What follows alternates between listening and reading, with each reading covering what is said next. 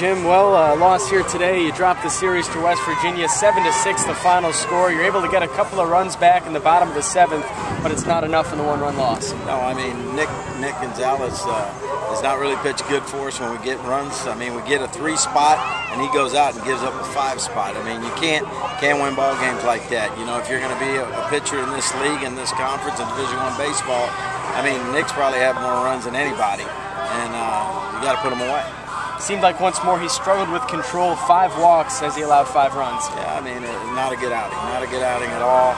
And when you're struggling offensively, sometimes you know you can't do that. And uh, uh, not a good performance by him. He did offensively get Peter Brotons his first couple of hits of the year, an RBI hit early in the game, and had a chance as the tying run there in the ninth. He's been doing a good job. Been practice. He's been working hard, and he, uh, um, you know, I felt today coming in here that I thought he might, he might. Uh, uh, put up some good at bats today, and he did. He gave us a chance there in the ninth, uh, so that was a positive for our ball club.